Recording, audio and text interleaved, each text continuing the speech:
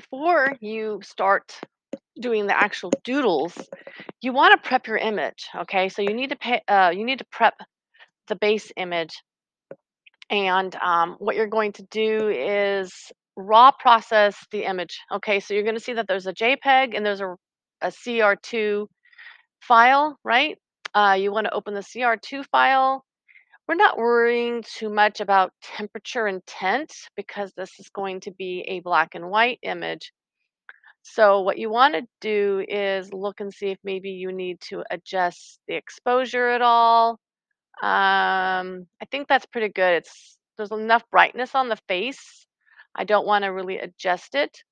Maybe add a little more contrast just to make it a little more dramatic. Um, you could adjust the shadows, kind of move it up, move it down, and see what looks better for your image. I don't really think I need to do anything on shadows. Um, you could adjust the whiteness, which would make it a tid a tad bit brighter. I don't, you know, maybe I will uh, just a little bit, but not much. Um, I could bring the black down and it'll make it just a little darker. I could reduce the texture. I want to slightly reduce the texture. What that's going to do is going to add a softness to the image.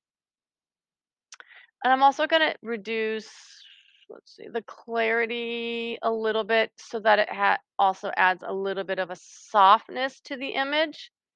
Or you could, you know, increase the clarity. Now, if someone has like a lot of acne, I recommend you reduce the clarity and it helps to kind of soften that acne.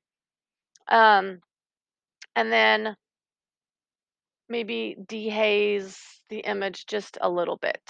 Maybe like up a little bit, not too much. Um, if you go too far, then it gets too dark. So just maybe a little bit of a just slight dehaze. Um, don't worry about vibrance or saturation.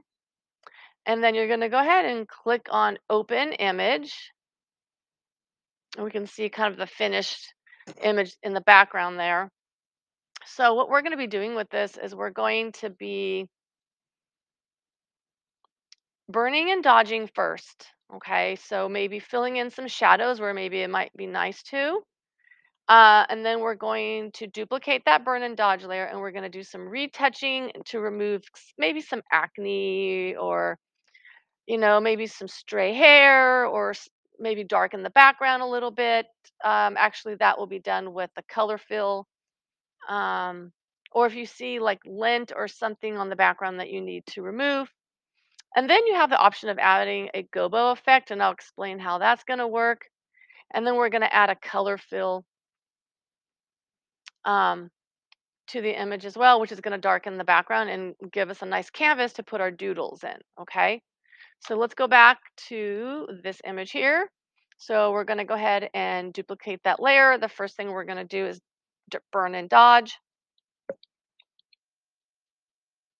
Okay, what I recommend you do then is come over here to our burn and dodge tool I'm gonna burn in some of the cheek area here and just kind of make the shadow completely all over here in one area.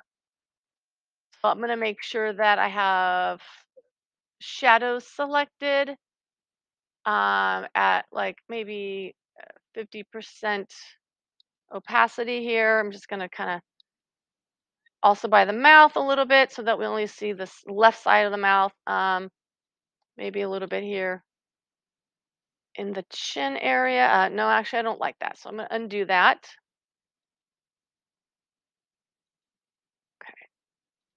Um, I might burn just a little bit under the neck here, but maybe what I'll do is I'll reduce my exposure so it's a little more subtle to about 15%, just a little bit here under the neck, just to add a little more definition here.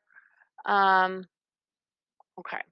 So then if we turn off the burn and dodge, we can see that. It looks pretty good. Now what I want to do is I want to dodge the eyes a little bit. So I'm going to go to dodge and I'm going to do um, a control plus so I can zoom in on my image a little better here. Um, I'm going to make my brush very small so I can either do it here or I can do use the bracket key. And what I'm going to do is I'm going to dodge the eyes a little bit just to make them a little brighter here. But I am also going to back out and just check that to make sure it looks natural and then zoom back in again. Just I'm dodging the whites of the eyes a little bit here. And then what I'm going to do is I'm also going to lighten, I'm going to dodge the iris a little bit here and just kind of lighten the eyes slightly. And then I'm going to back out, control minus, and check that to make sure it, look, sure it looks good. We can turn off the dodge and burn and we can see that. We can see that we lighten the eyes a little bit just to kind of bring uh, more detail into the eyes. And I'm going to do a control plus on the keyboard, control plus on the keyboard to get um, in closer again. And then I'm going to do control minus and I'm just going to look and see if there's like anything else I need to retouch. I'm sorry, uh, anything else I need to dodge and burn. All right, so it looks pretty good. And so now what I'm going to do is I'm going to duplicate the dodge and burn layer and I'm going to call it retouch. And I'm just going to do control plus on the keyboard and I'm going to see if there's like any areas where I want to retouch starting at the top corner. Don't see anything. I'm going to use my navigator here. So if I go to window and open navigator, um, I can kind of zoom around my image. I don't see anything in the corner. I'm going to come over here to the middle of the image, um, move it over to the face here. Um, I'm going to like retouch a very small brush and I'm just going to remove some of the, looks like he's got like a little bit of like hangnails going on here. Going to get rid of that. Um, here a little bit, just get rid of that on the nails. Um, I'm going to retouch that little eye area. Um, and I'm going to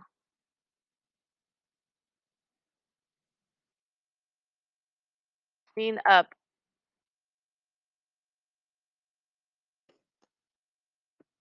I'm going to clean up this eye area right now and I'm going to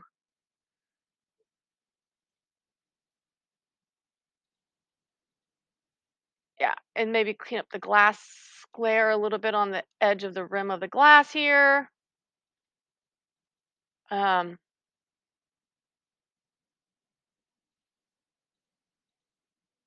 yeah. Okay, now I just he doesn't have too much acne or anything like that, but you know, I'll just kind of go and maybe clean up a little bit on the skin.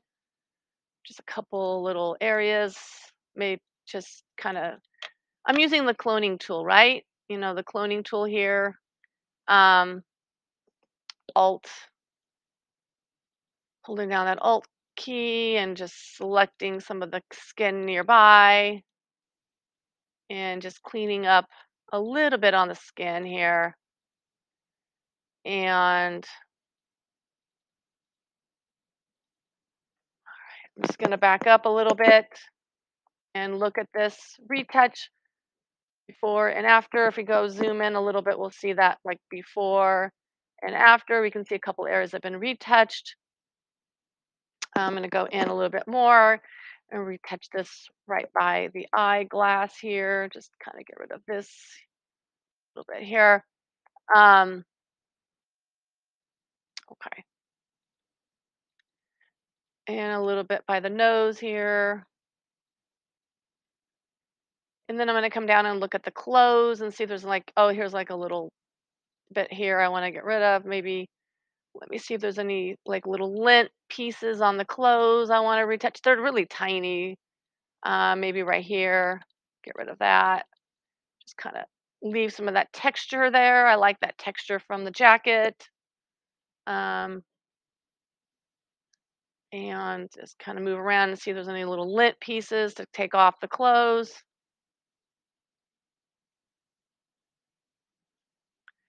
Um, if you feel like you have like some really intense acne to retouch, Um, I will show you how to use a patch tool to to kinda it's an it's another tool that you can use, um, if using the cloning tool doesn't work, I'll kinda I'll show you that at the end of the video if you're interested in, um, seeing how to use a patch tool to kinda help blend in a little bit of the and get rid of some acne. But I'll show that at the end of the the video because we want we want it to look natural. Okay, so here we go. Here's before and after. It looks pretty good. So then the next step, let's go look at our sample here, is to um, add in actually a black and white layer. Okay, so what we're going to do is we're going to come over here and we're going to add in a black and white layer. And we want to adjust the reds, the yellows, the greens, the cyans, the blues, the magentas, okay? Um, so we want his shirt to go kind of dark because we don't want, we want to kind of blend. So I'm going to bring it down a little bit. His shirt is red, so I'm able to bring that down a little bit. See if there's any yellow. There's a little bit of yellow in the skin, but I'm just going to keep that as is. Uh, some greens, um, not really impacted by greens. Some cyans, not really doing much. Some blue, bring that down a little bit, and some magenta. Nope. Okay. So I really wanted to kind of have his shirt kind of be the same value tone as his jacket. So that helped by bringing the red down. Now what I'm going to do is I am going to potentially add um, a color fill and a gobo, okay, a gobo effect. So what I'm going to do first is add in a black color uh, fill. I'm going to do a solid color of black, okay, and I'm going to click on my layer mask here and make sure I've got black over white and I've got a nice large brush that's soft. Uh, make that brush pretty big here and I'm going to remove the figure. I want I want to see the figure, but I'm going to leave everything else black. Um, now, I do want to kind of hide the clothes a little bit, so I'm going to kind of just go a little bit on the edge of the clothes, but I'm going to leave that texture on the jacket. I kind of like that a little bit, so I'll leave that texture there and um, maybe leave a little more texture here by just kind of making a smaller brush and kind of letting that texture show here a little bit on the jacket. Okay, so that's pretty good. We can see before and after. Now what I want to do is I'm going to add a gobo above the retouch layer. Okay, so in between the retouch and the black and white layer. So I'm going to go into our file where you're going to have quite a few resources in our shared drive here. You're going to go to shared drives. We're going to go to our doodle portrait retouch video and you're going to see that there's a bunch of back of different like kind of gobo effects that you can use. And I'm going to click on this one right here. I'm going to open it. Um, and I want to look at my sample. Okay. Um, what I'm going to do is, I do black there? Yes, I did. Okay. So I'm going to do a select all, select all or control A and edit, copy or control C. And I'm to come back over here and I'm going to paste it on control V. And what I'm to do is I'm going to adjust this. So I know that it's over my figure. Okay. And I'm going to, don't worry if it's like pixelated because once you check mark it, it's going to clear it up. Okay. Now I'm going to come over here and I'm going to select a blending mode of, I believe it's overlay. But let me see what I did on my sample. Let's see. I did overlay. Okay. Perfect. And now we don't want this to be at 100% um, opacity. We want to bring this down to like maybe like 35, between like 35 and 45 or something like that. Okay. Now, right now, this layer is too precisely placed. We want to we want to distort this gobo effect a little bit so it looks like it's fitting over the face. So what we're going to do is we're going to go to edit, transform, and we're going to click on the warp selection and then we're going to come over here and we're going to see here. Interesting. It's not giving me the option to adjust.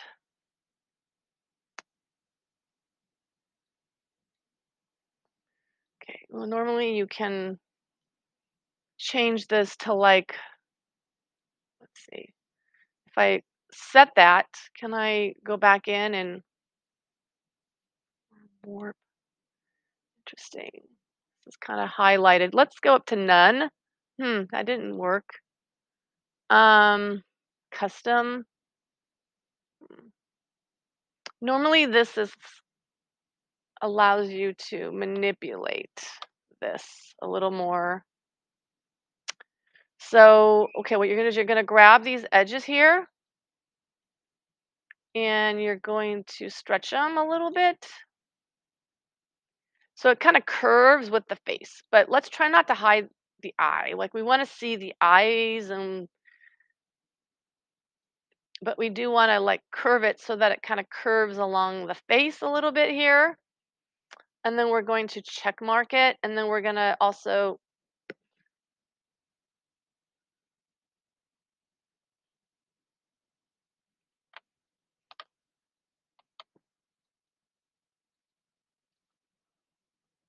come over here to edit, transform, warp. And then we're going to do it again. And this time we're going to manipulate this one here on this hand, but it also is manipulating the one. See if I pull this up a little bit, eh, can I bring this so it kind of curves a little bit?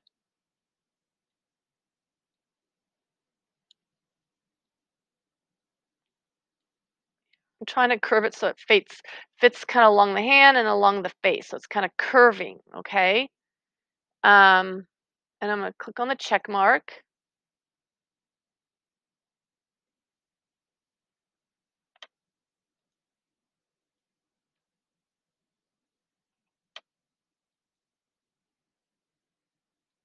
Okay. Um, and because we have this color fill going all around, it it only we only see the gobo effect where um, this little area in black is. So we can see that all of this is cut off, that we only see the gobo effect on the face. Um, and now let's go back and let's see if there's any other steps. So it looks like that's all the steps that you need to do. Um, now let's look at sample number nine. You want to save this and now you're ready to start doing your um, your doodles. Okay, let's look at sample number nine. And I'm just going to turn off these layers here and we're going to come down over here and um, we're going to look, we're going to zoom in really close here on the chin. So we've got a little bit of like acne here. What we can do is we can retouch it. Okay, we can see here that on this image, it's been retouched um, throughout the image. And how we retouch that initially, let me just show you. Let's duplicate this layer uh, we call it retouch.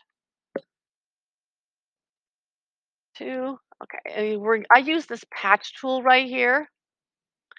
And what I did was I went over here and I actually kind of put in like what I, where I wanted this to go and I want this to go here. So what I do is I draw it in and then I move it to where I want it to go. Oh, that's actually opposite of what you're supposed to do. Step backward. Select, deselect. Actually, you want to draw it around here first. And then now I remember, yeah, now you go like this and you kind of place, you kind of figure out, okay, where do I want it? Like, do I, okay, maybe I, you want to kind of find a value tone that's similar and that's like smooth also at the same time. There you go. And then you release and then you go select, deselect, and then we can see that that's been smoothed out a bit. You can see that compared to here. And it's a little darker, but that's okay. Uh, what you can do is go in, Now with our cloning tool and we can kinda clean that up even a little more here. Maybe I definitely recommend you have, like, a low opacity when you're using when you're when you're doing, like, skin retouching on the brush. And then you can also, if you wanted, um to kind of blend between these 2 areas, and then you can also, if you want, kinda go in with a dodging tool and just lighten that area up a little bit since it was a little bit lighter at the beginning, you can just kinda lighten it up a little bit so it looks a little more natural. So, there we go, before and after, okay? So again, let me show you how to do that. Let's say you wanna, like, get rid of this right here. You kinda take your patch tool, you circle around where you wanna remove it, and then you kinda figure out, like, what you wanna fill in. Maybe you wanna fill in with this. Okay, and let go, and then go over here and just you see how that really cleaned that up, and we can see the before and the after. Okay?